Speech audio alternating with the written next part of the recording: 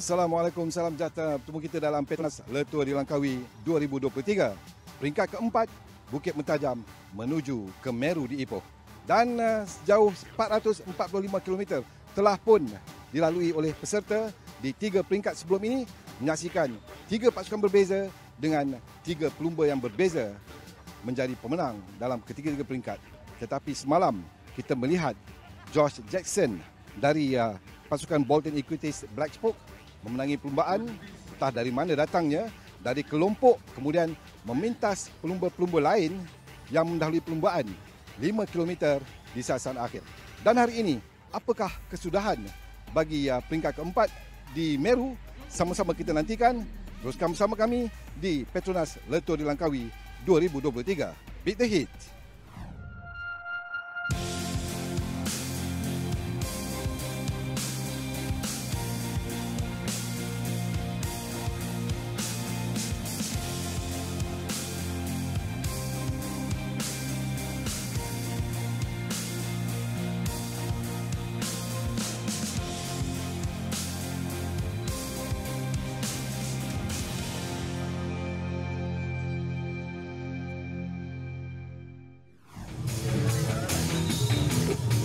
When you look at the profile, no hill today, not like yesterday.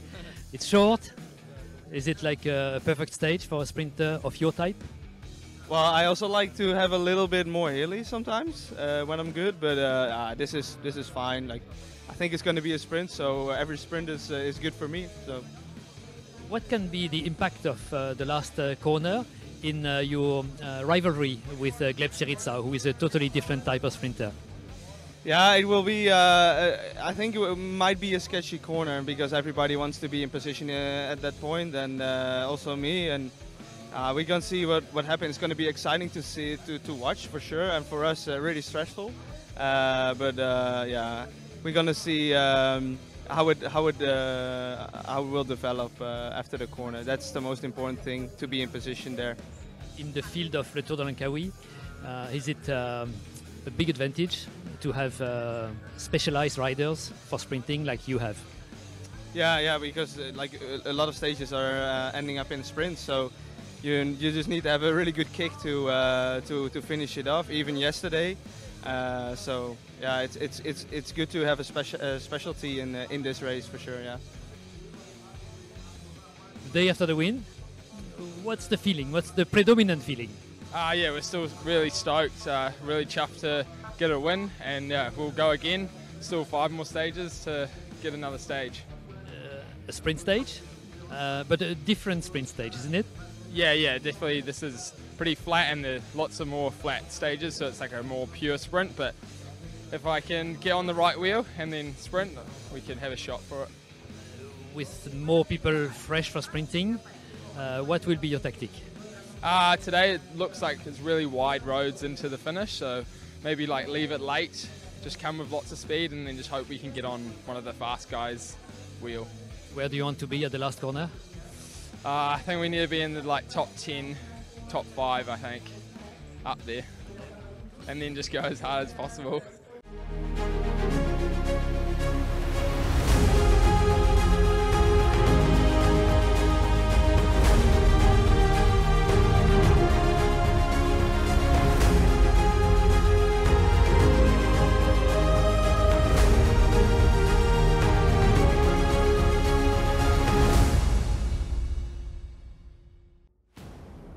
Letu di Langkawi 2023 hari ini 26 September Selasa peringkat keempat dari Bukit Mertajam ke Meru Raya sejauh 140.2 km di mana tiga zon pecutan ditawarkan di Bagan Serai, Talang, Sungai Siput diselangi dengan zon pendakian di Kuala Kangsar. Do you like uh, short stages like today and uh, cornering in the finale? It's it's quite hard to race in Malaysia because it's uh, high humidity here. It's not so warm, but you always sweat a lot.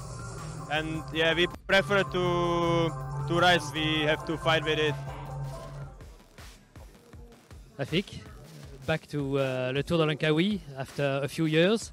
When you were racing for five years for TSG, you were not doing Langkawi. How happy are you to come back? Yeah, uh, at first, I really thanks to my team Nusantara. So after five years, I not going to Langkawi. Uh, last month, last Langkawi 2017, I think. Yeah.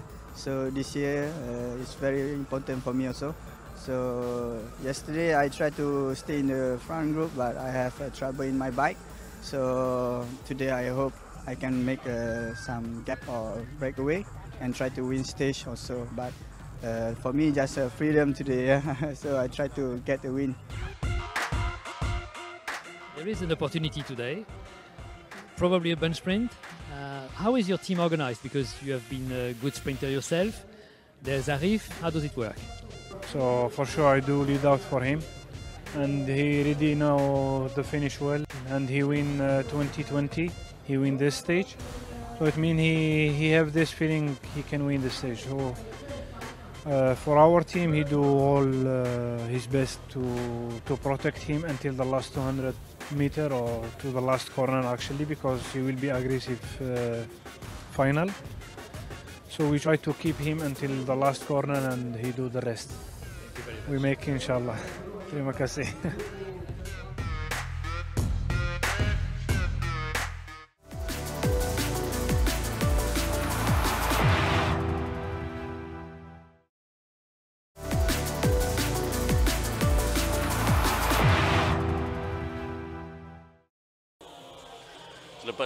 Naik turun uh, dari uh, Jeli ke Baling di peringkat ketiga semalam hari ini lebih landai peringkat keempat dari Bukit Mertajam ke destinasi Meru Raya di Ipoh.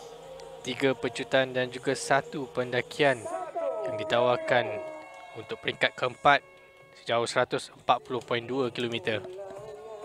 Tepat jam 10 ke semua 121 pelumba memulakan aksi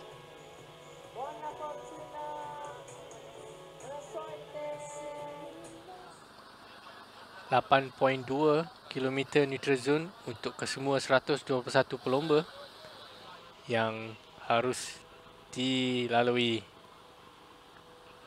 keluar daripada Bukit Mertajam terus ke Simpang Ampat ke Sungai Bakap. Masih lagi dalam neutral zone.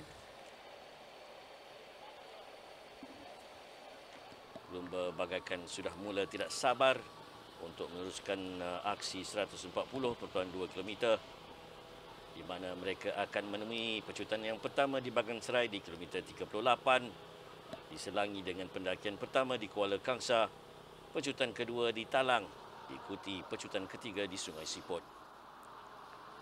Para pelomba baru saja dilepaskan pada 0 km jika kita lihat sebelum ini di peringkat pertama dan juga kedua serta ketiga. Mengambil masa yang lama untuk membuat pemecahan tetapi untuk peringkat keempat ini berbeza terdapat 8 pelomba cuba membuat pemecahan awal termasuklah Afiq Uzni daripada pasukan Nusantara. masing-masing uh, pada awalnya bagai memulakan uh, strategi mereka menyaksikan kelompok lebih kurang 12 pelumba cuba memisahkan diri dari peloton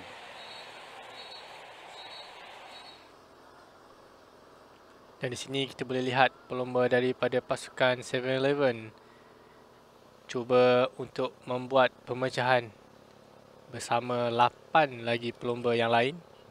Nicole Pareha dari uh, pelumba Filipina dari pasukan 7-Eleven Click di antara 8 kelompok utama menuju 132 km ke garisan penamat. Dan selepas itu kita boleh lihat kesemua 8 pelumba ini berjaya membuat pemecahan sehingga 1 minit 10 perbezaan antara peloton dan juga group leader. Sokongan padu rakyat ataupun penduduk di sekitar Bagan Serai dan juga di sekitar keluar dari Bukit Mertajam merancakkan lagi suasana hari ini di awal perlumbaan. Ini dia pelumba dari Korea Selatan Pak Kyung Ho. Hujan sebenarnya diselangi uh, di tengah-tengah perlumbaan sebaik mereka keluar dari Bukit Mertajam.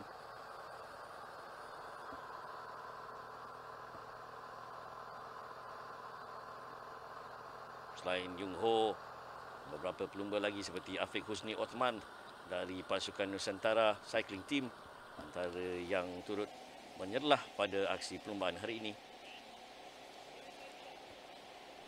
Jika dilihat, peloton tidak membiarkan jauh antara leader dan juga peloton. Ini dia zon pecutan yang pertama di bahagian serai menyaksikan Racanan Yurawat pelumba daripada pasukan uh, Thailand Continental Team meraih tiga mata berharga dan juga tiga saat berharga. Yatan sudah sekali cuba ingin mendapat tiga mata penuh ini kerana akan menempatkan beliau di, di kedudukan jersey Asia yang terbaik. Hujan mulai turun agak lebat. Bagaimanapun uh, keseluruhan 121 pelumba dengan gigih terus meneruskan kayuhan. Masih lagi berada di dalam kelompok 8 utama. Nicole Pareha di mana kita lihat pelumba dari Astana Leonardo Basso yang cuba mengawal kumpulan peloton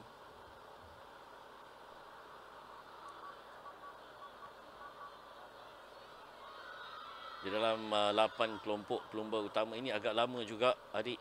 Menyaksikan uh, Kobo Kayon dari pasukan EKP dari Spanyol berada di antara 8 pelumba yang lain seperti Nicole Pareha dari 7-Eleven Click Filipina uh, Fik Huzni Osman daripada pasukan Nusantara Cycling Team Racanan Yorawat dari pasukan uh, Thailand Continental Team dan juga Tanachat Yatan juga dari pasukan Rujai Online Insurance baki 94 km menuju ke Meru Raya. Jadi kita lihat peloton makin meningkatkan kayuhan dan juga kelajuan dari semasa ke semasa. Ini dia tanya Diatan dari pasukan Rujai Online Insurance dari Thailand.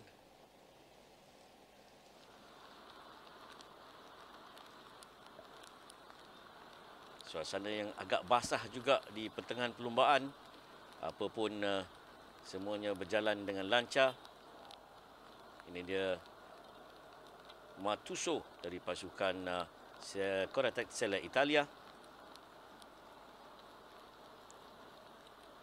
Ke 88 ini menuju ke pendakian tunggal hari ini di Bukit Berapit kilometer 82.6. Kategori 3 ditawarkan untuk peringkat keempat hari ini di Kuala Kangsa walaupun hanya cat 3 saja. Bagaimanapun tidak melemahkan semangat bagi uh, beberapa pelumba untuk meraih tiga mata dari pendakian ini walaupun tidak uh, sesekali mencalar reputasi Simon Pelot yang masih kekal sebagai pemegang jersey Polka Dot ketika ini 64 km menuju ke Meru Raya Ipoh. Kesemua 8 pelumba ini masih kerja keras untuk memastikan jarak gap time antara leader dan juga peloton masih jauh.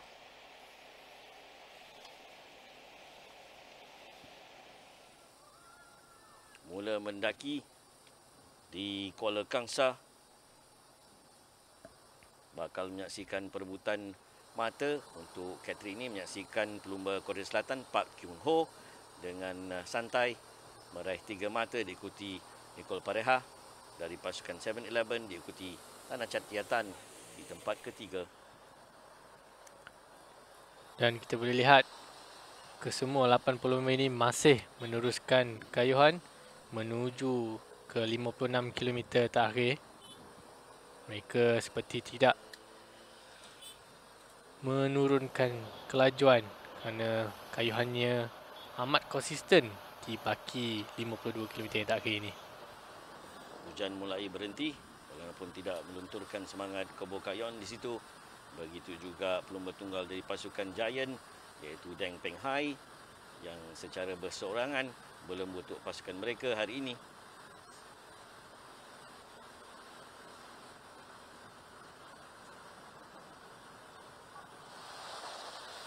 Pujian harus diberi kepada pelumba tepatan kita iaitu Afiq Uzni Othman yang mewakili pasukan Nusantara kerana beliau memang betul-betul agresif untuk peringkat yang keempat ini kerana jika dilihat beliau hampir membuka semua intermediate sprint dan juga kom yang ditawarkan. Tiba di zon kejutan kedua di Talang menyaksikan uh, tanah cadiatan mengungguli tiga uh, mata dan juga tiga sangat berharga diikuti Afiq Huzni dan juga Rajanat Yawarat sekaligus secara tidak rasmi merampas jersey putih Asia dari Nur Aiman Rosli. Itulah dia secara rasmi tanah cadiatan dari pasukan Rujai Online Insurance meraih tiga mata dan juga tiga sangat berharga diikuti Muhammad Afiq dan juga Racanat Yorwarat. Kita kembali selepas ini.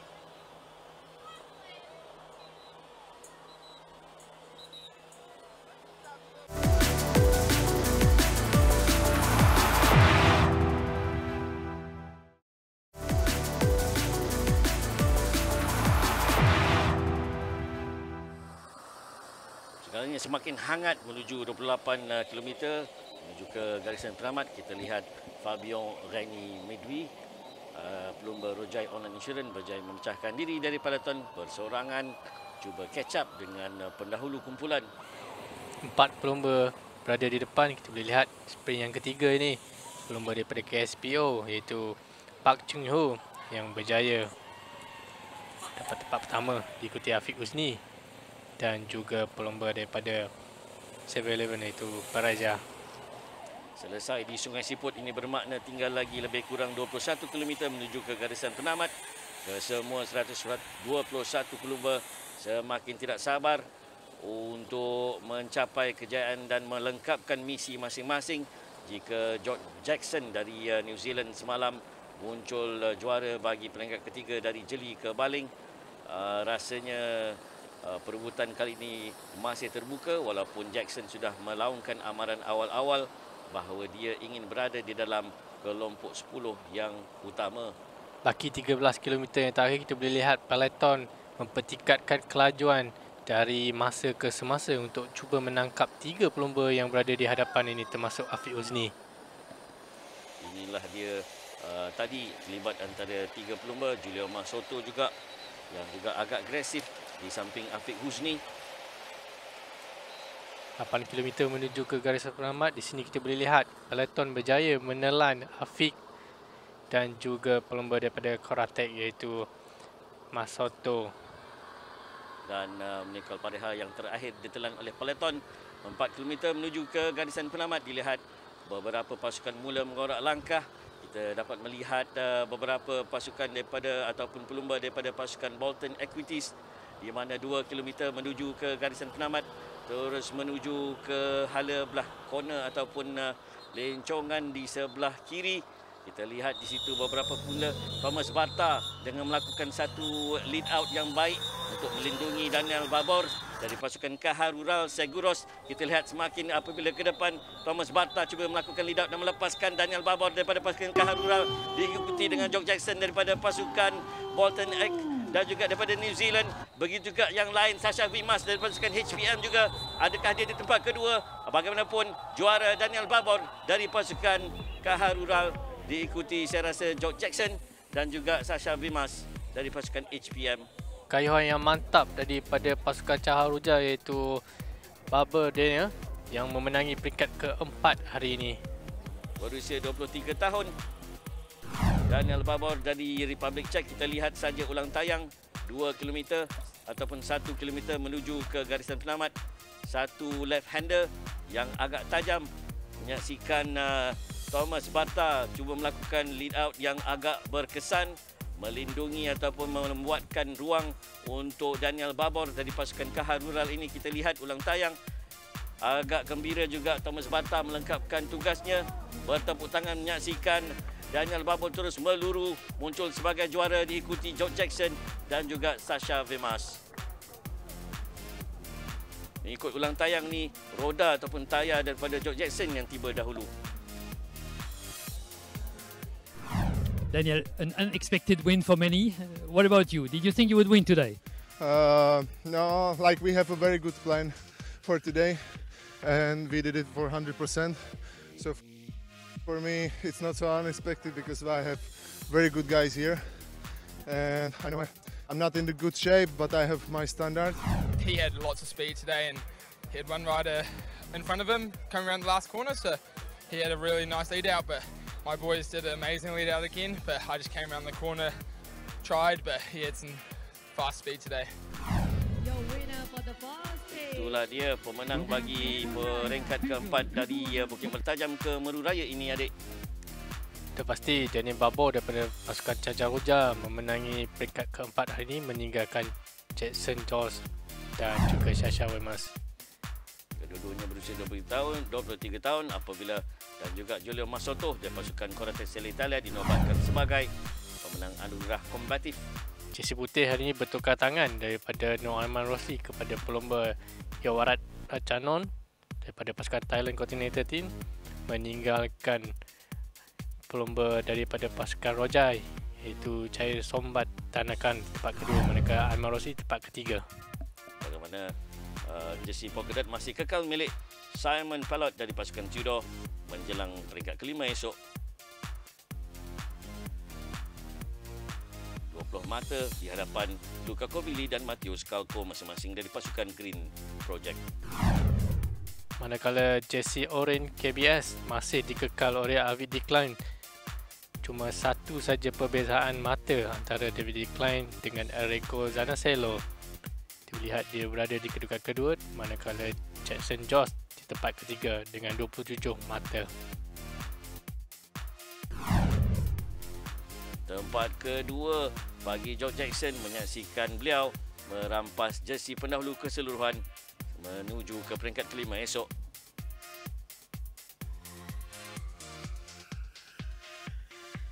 Inilah George Jackson secara rasmi telah merampas jersey pendahulu uh, Petronas daripada Enrico Zanoncello. Segalanya mungkin akan berubah menjelang peringkat kelima esok.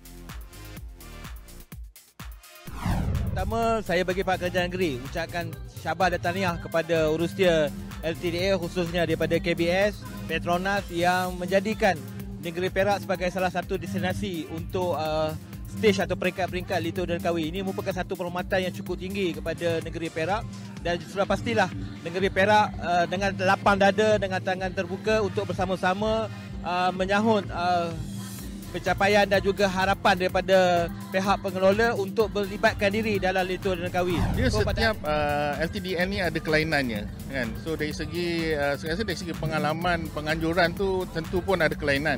Dan ini merupakan kali pertama yang Majliskan Negara sendiri menjadi penganjur secara total. Dan uh, macam yang saya sebut tadi, setakat ni Alhamdulillah dan uh, kami di MSM mengambil peluang ini sebagai pengalaman untuk pegawai-pegawai baru untuk untuk belajar dan explore benda ni. Peringkat keempat, Bukit Mentajam menuju ke Meru menyaksikan beberapa perubahan dalam uh, keseluruhan. Tetapi di peringkat ini, yang menjadi pemenangnya Daniel Babo dari Kaha Rural Seguros Team dan uh, diikuti oleh George Jackson dari Bolton Equities Black Spoke dan juga tempat ketiga Shasha Wimes Human Powered Health. Jersey hijau Petronas kini milik George Jackson yang mana beliau mendapat tempat yang pertama pada peringkat ketiga dan hari ini tempat kedua berpuas hati dan juga Orange KBS terus dikekalkan oleh Abid Decline dari pasukan Tudor Manakala jersey Polkadot Tourism Malaysia, Simon Pelot dari Tudor juga terus mengekalkan jersey ini. Dan uh, putih Beautiful Tengganu milik Rasanon Yawarat dari Thailand Continental Team. Adakah Simon Pelot mampu mengekalkan kedudukannya menyarung jersey Polkadot pada stage yang kelima dari Stream River mendaki ke Genting Highland?